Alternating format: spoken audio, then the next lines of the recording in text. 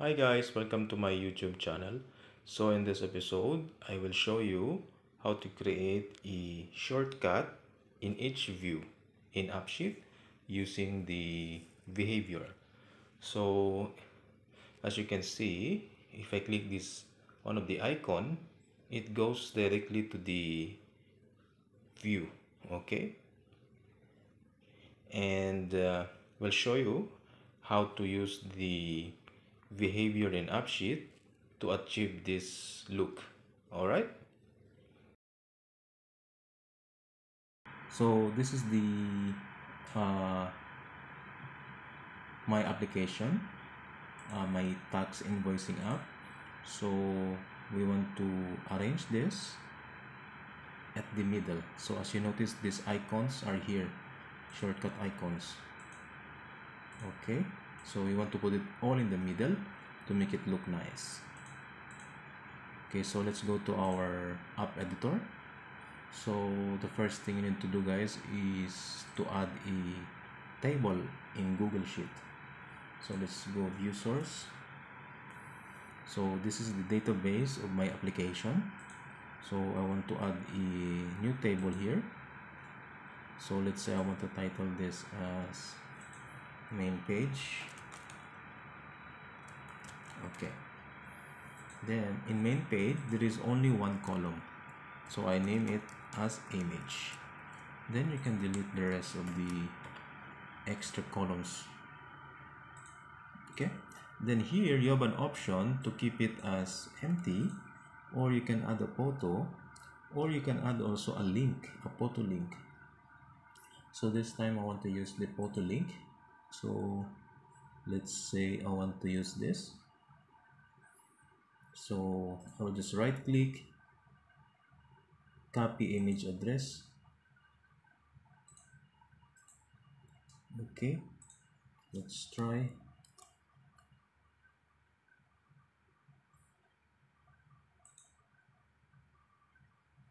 Okay so it's working. Then let's go to the let's close this and go to the app editor and add new table. So let's add the one that we added. So that is the main page and reads only.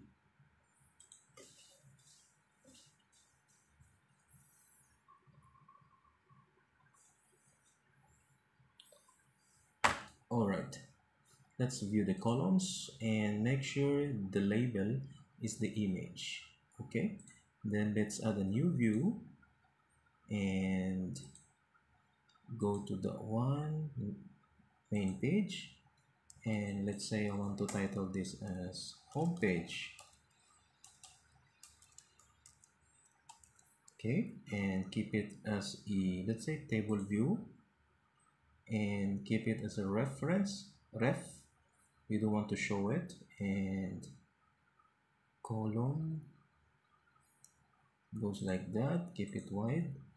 And display I keep it as let's say home. So let's use this one for example. Then click save.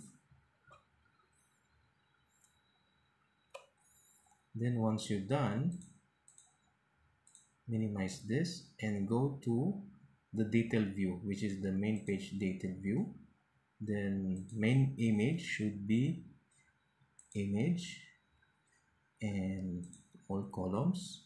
Then display mode keep it as a background and keep it at centered. Okay so you can also use this as display name here.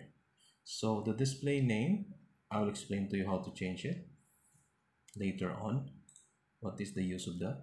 Then you have to add another view. But this time keep it as a dashboard view. Then I will title this as main or home page also. Home or home only.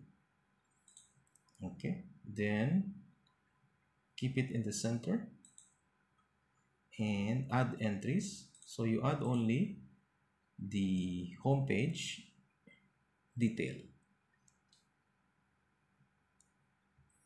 Home page main page detail. And keep it wide. Then display you can keep it like this as you like. Then click save. Then now let's uh, refresh the application to see how it look like. So we have your home. So now we have the background image. So what we want is to put these things up here. Okay? So as you can see guys it's not nice now when you click this one it shows the the the data. So we want it to look clean.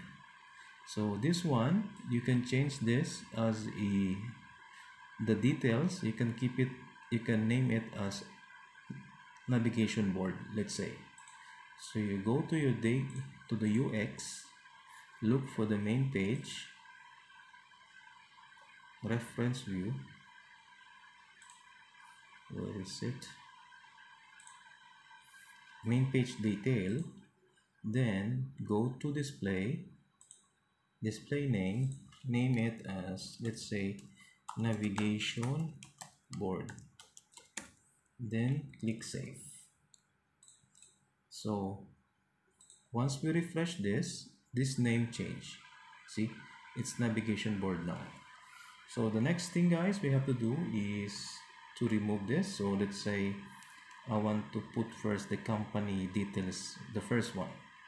So you have to go to the view of company details. So UX company details here. Here. So the things you need to do guys is only like this. You go down then just copy this whole thing okay? Then once you copied it this view remove it from here. Here right? So I want to remove it so keep it as reference. Then you go to behavior create new action choose main page okay? Then name it let's say company details. Then choose go to another view within this app. Then paste paste that one that you copied a while ago and save then appearance here. Display prominently. Then let's say I want to use this as you can change the icon. Okay now let's see one sample.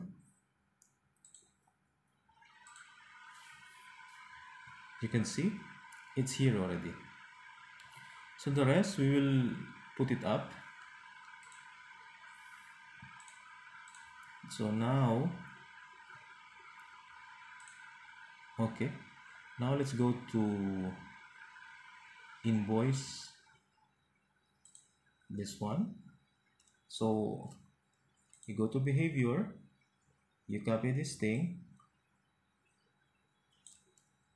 uplink then keep it as reference view then behavior new action main page and this is invoice log okay. Then go to under view within this app and paste this one. Click save appearance. So this one invoice keep it like this and display and save. Then once you refresh it so we have two more left. So inventory and download invoice pdf then same goes again guys. So i have this inventory. Go to behavior. Copy this. And later on guys I will show you how it's look like in the mobile. Then keep it as a ref. Behavior new action choose main page. So this one is inventory. You rename it. Go to another view within this app. Then paste.